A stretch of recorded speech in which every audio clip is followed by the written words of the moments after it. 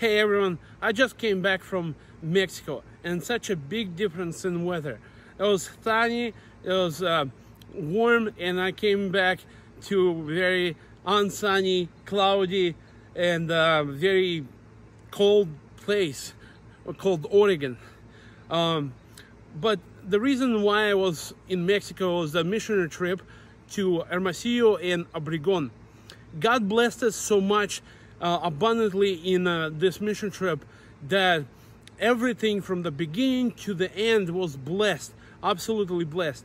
We had no problems on the road or with uh, vehicles, with people. People didn't get sick. Uh, we didn't have uh, problems on the border. We just uh, had a lot of blessing all the way from um, from Portland to uh, to Hermosillo in Obregon. And that's the sweaters we got from um, from Mexico, PDX to Hermosillo. That's our main uh, point where we're working and also we're working in Obregon. So it was wonderful. A lot of people got healed and that's um, the very big point of this mission trip that we preached the gospel and people got healed. And uh, for instance, I prayed for a couple of women, they got healed.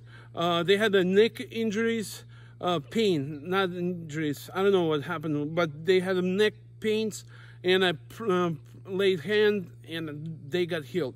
So uh, God used me uh, that way. Um, Pastor Hara that was preaching there also prayed for healing and a lot of people got healed also. So it was uh, a lot about healing, uh, healing people. It was awesome. Uh, we we visited places where there was no churches.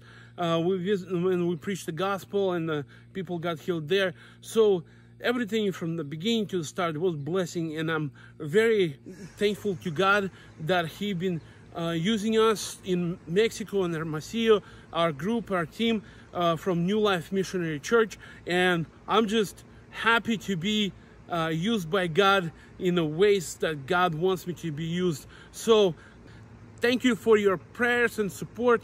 Uh, your finances was used for buying beans and candies for beans for uh, parents and uh, candies for children that we had the services for. And uh, also I'm thank thankful for pastors and ministers that in our church that supported us for this. And parents especially parents that you uh, let your children go to Mexico to um, to minister there for their testimonies for everything that uh, happened in Mexico. I'm very grateful to God. God bless you all, and I hope God will use us more in the next mission trip. God bless you.